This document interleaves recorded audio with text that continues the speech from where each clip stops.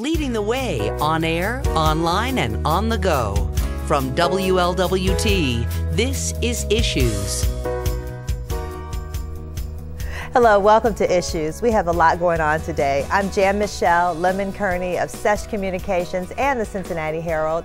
A little later, we're going to talk to poet. Well, she's more than a poet. She's performing artist and artist Annie Ruth, and she's headed for Kenya and you can help. So we're going to talk about that. Also, India Jones is here, and she is going to uh, share her personal trainer with you and maybe some of her personal training secrets. Uh, first, we're going to talk about Art Beyond Boundaries, the gallery, which is fantastic. It's down there at 1410 Main Street, and we have with us the director, Jymi Bolden. You know him. He's eh, photographer extraordinaire, and assistant director of the gallery, Karina Sibata. Welcome, both of you. Thank you. Tell us about the gallery, Art Beyond Boundaries. Well, Art Beyond Boundaries, in a nutshell, what we are and what we uh, try to do is to provide a professional mainstream exhibition venue for artists with disabilities. And that's pretty much our mission in a nutshell. Um, we've been in this particular location for uh, it'll be seven years in uh, wow. this. Yes, yes. Has it been that long? Yes, it has been. Oh my! I remember when um, the Center for Independent Living Options, the host organization, was talking about this art gallery. Tell us how that whole concept came about. Well, actually, it was it was. Um, it was intended to be a temporary show.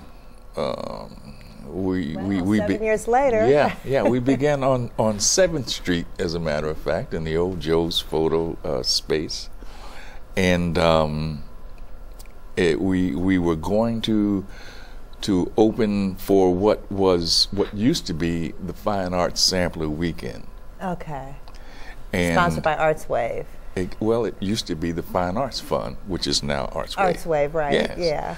And um, that was what we called this particular show that we have at this time of each year, our Fine Arts Sampler Weekend show, ah. until they changed the name to Arts Wave and uh, that one show turned into another show, turned into, and the rest is history. And so, seven years later, you're still here. Well, it's actually eight years eight now because it was yeah. December of 05 that we began. Wow. Yes, okay. Yes. Wonderful. Well, now there's a, a, a new show that's opening up and it's open. And the opening reception, I understand, is is January 31st, and it's called Seven of Arts. We're going to have some photos. Some of these photos, I think, are of pieces that are in it, or actually in the show, and some might be others. Those will come up in a minute. But tell us about this Seven of Arts. Oh well, here's a photo. Go ahead and talk about that. Then we'll get back to the show. Well, this is a uh, an additive sculptural piece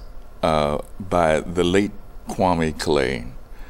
Um, Kwame was a local artist who uh, who who had national credentials. Um, That's and, beautiful. And uh, his pieces are, are are in museums and private collections all over all over the country. Okay. Oh, this is gorgeous. Tell also, another Kwame Clay uh, piece. Um, again, it's it's it would be described as multimedia additive sculpture, mm-hmm. for which you know he was uh, he was he was known for. Mm-hmm. Wonderful.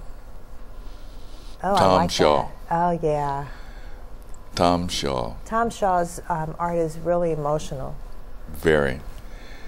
Um, this is probably one of uh, uh, one of my favorites. Kind of looks like the Scream. Yeah. yeah. a different that version. That was the name that, of yeah. it. Make me want to scream and holler. Okay. oh, beautiful. Yeah. Okay, so Seven of Arts. Um, Karina, I was asking you about that. Tell us about Seven of Arts. Where does that name come right. from? Right. Well, uh, every year we have a anniversary exhibition. Last year was Six in the City. There's always a play of words um, on the number that we're celebrating. So right now it's Seven of Arts. Okay. Um, where the the image of the announcement is this sort of um, like those casino slot machines. Yeah, okay. Yeah, so it's it's kind of playing off of the the presence of the casino now in OTR. Okay. And um, celebrating the idea of luck because you know there's always luck has something to do with success. Right. And um, just celebrating seven years in that specific location in Main Street, our presence in Over the Rhine. Wonderful. Okay, and so now the opening reception. Tell us about that. Well, it's going to be on January 31st, 6 to 9. Um, there's going to be wine, hors d'oeuvres. Um, they're always a lot of fun. Yeah, we're located at 1410 Main Street, and you'll have a chance to meet some of the artists. Oh, good. Yeah. Um, Oh, and Jeff said, give us that phone number, please. Yeah, it's um 513-421-8726. We also have a website. It's just artbeyondboundaries.com. Okay, and give us a number again. 513-421-8726. Okay, and now is, is there any charge for this opening reception? No, it's free. It's free, so Yeah. people can come on down and have some wine, meet the artists. Yes. Um, they can even buy some of the artwork, can't they? Is- Yes. Always. Yeah, the artwork Always. is always for sale, so that's wonderful. Um, and I should say your website, which you mentioned, thank you for doing that, We'll connect you through WLWT.com. So people can go into WLWT.com and connect to Art Beyond Boundaries. But just a wonderful place. So this is the seventh year in this location Yes. at 1410 Main Street. Exactly. So we're inviting people down. Now, how long will, will Seven of Arts, uh, will, will the show actually go on? Do, is, is there an ending date for it? Yeah, it's about each exhibition lasts about six to eight weeks, Okay. and this exhibit will end on March 14th. So it'll Okay. be January 31st to March 14th, Okay, so we invite people to come on down January 31st for that opening reception. And it's also Final Friday. Oh yeah, so Yeah. uh, so just a great time to be had Yeah. by all. We don't want to miss that. So stop in, and then people have until until March to actually see it. Yes. So okay, and then and then we'll look forward to the next exhibit. So this is great. So we're going to come down and see Seven of Arts. Thank you, Jymi. Thank you, Karina. Excellent. You have to come forward back soon. Seeing you. Stick with us. We'll be back in a moment with Annie Ruth.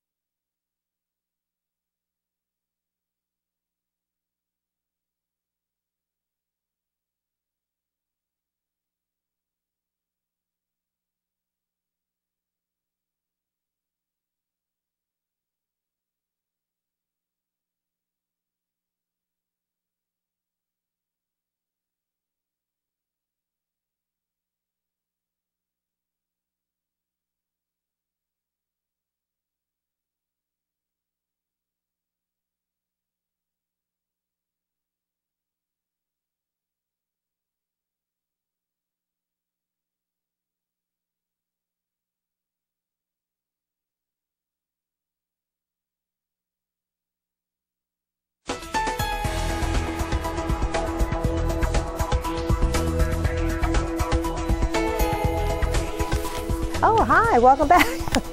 I'm sitting here, Annie Ruth was giving me notes.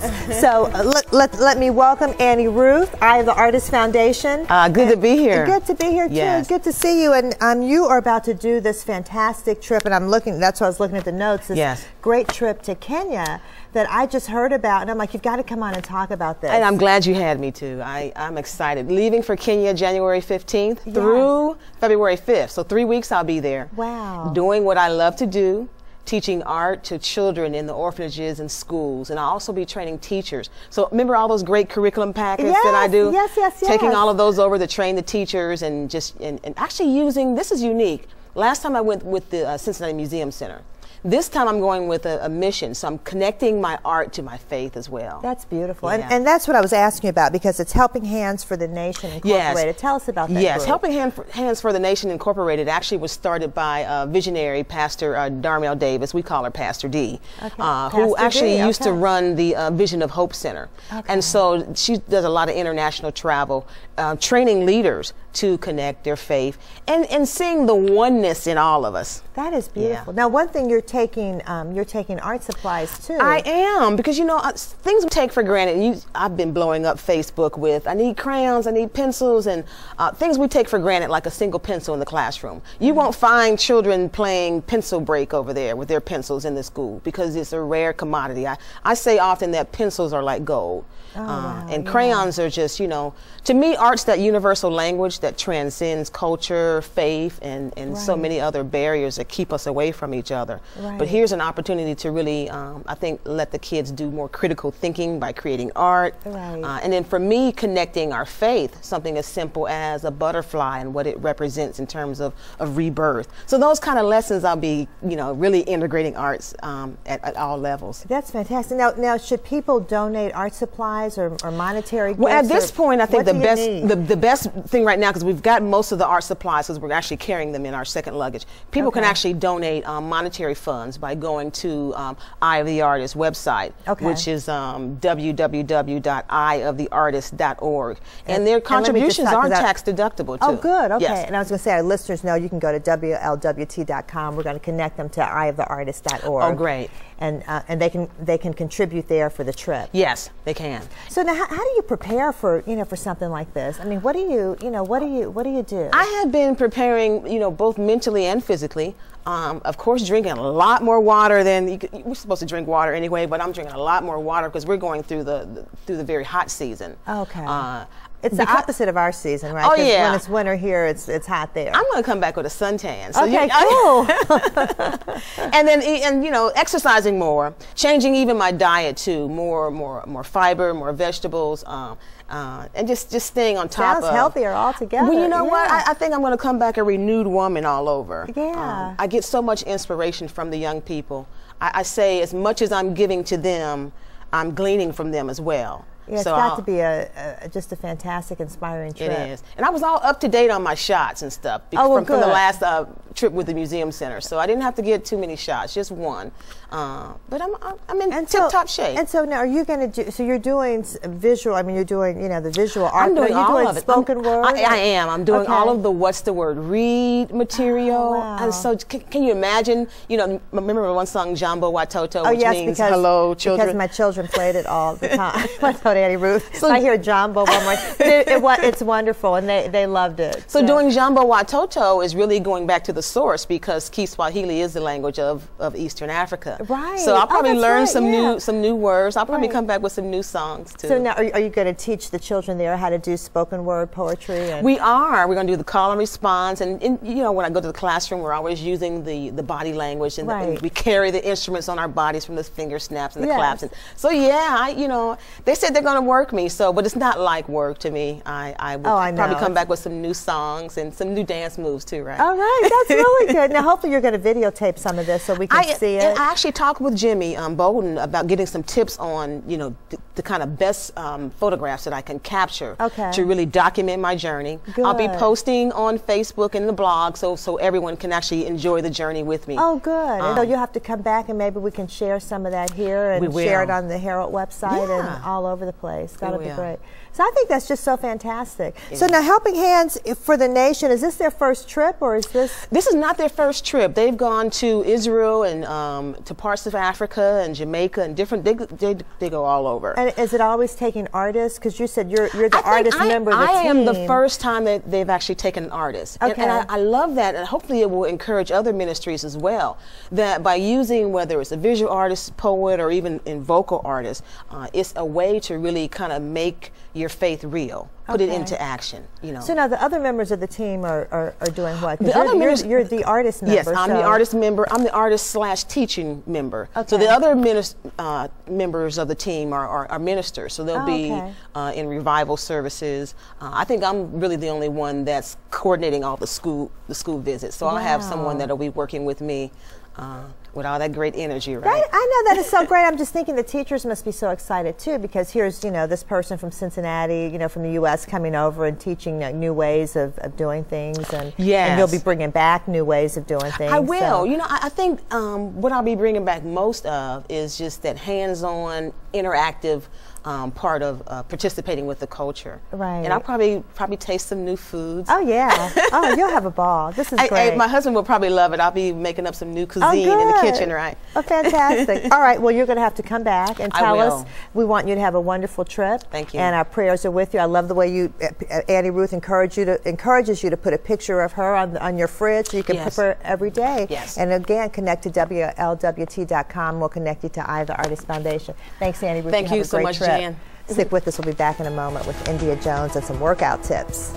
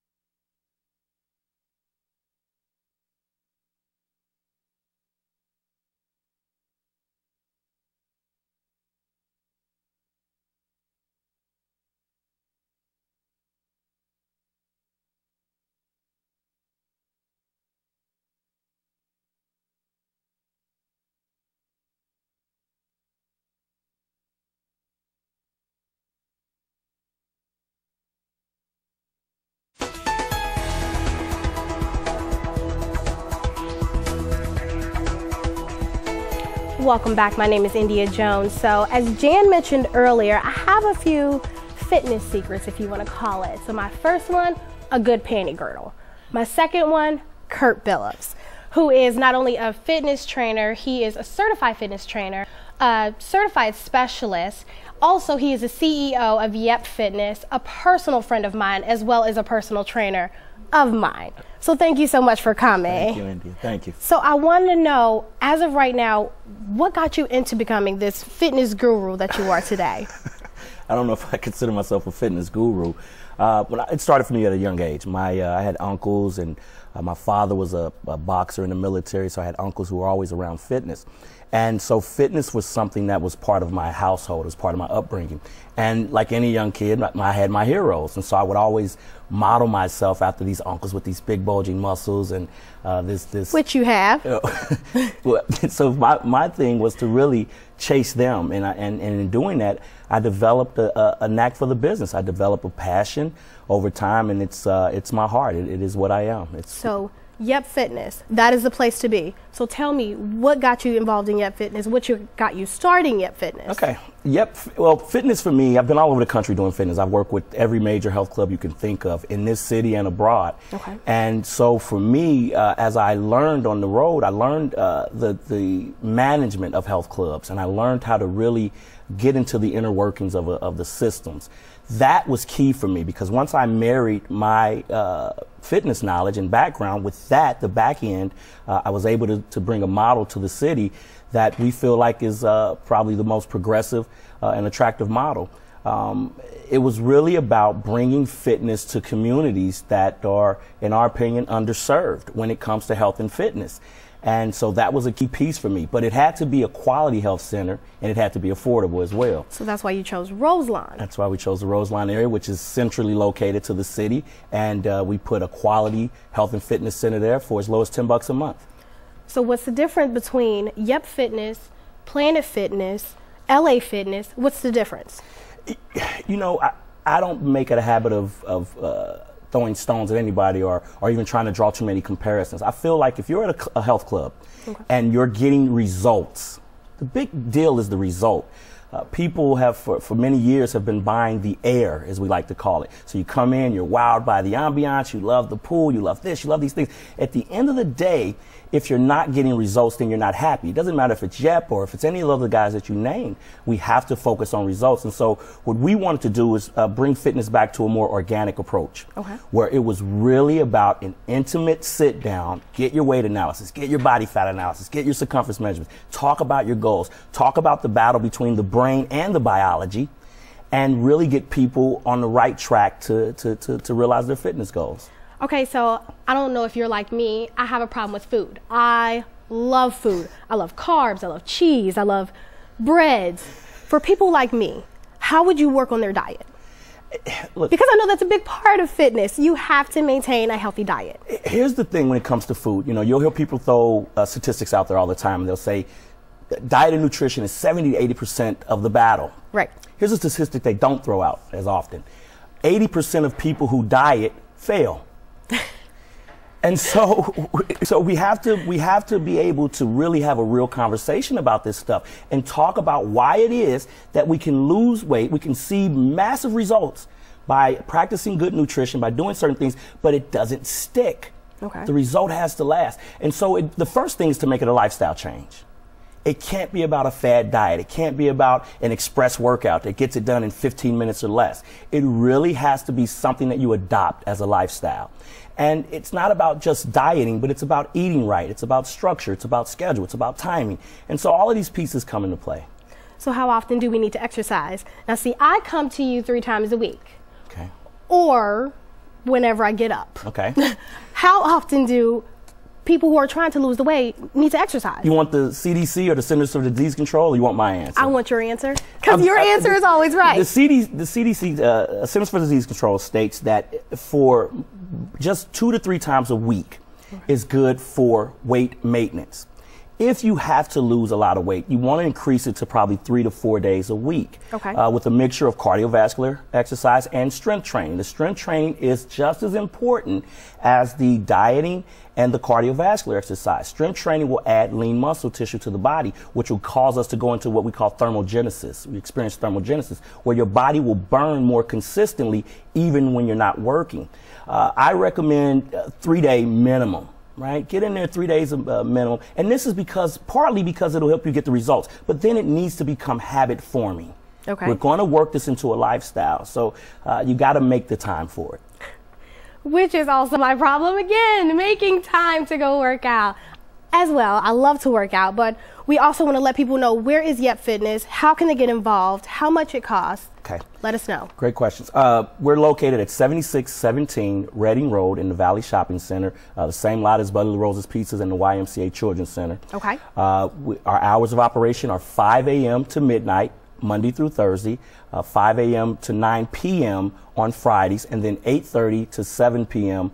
on uh, Saturdays and Sundays. Okay. Uh, you can look us up on uh, uh, Facebook. You can uh, like us on Facebook. You can check us out on Twitter. Uh, we have a blog site. Uh, we give out free information all the time about fitness and plan of action and helping people get direction. So, uh, or you can go to www.yepfitness.com, and I'm sure you guys will have we'll it on your site. We'll give you a link on WLWT as well, and give us a telephone number to get a hold of you. Sure, 513-761-9371 One or more 513-761 YEP 1. Go ahead and give us us one more time, just for everybody on the radio who don't get it. 513-761-9371. You heard it from his mouth already. Stay tuned. We'll be right back with more on the community calendar events. Thank you so much, Kurt, for coming. Thank you, It was nice having you. You. My pleasure. Thank you. Awesome. We'll see you soon.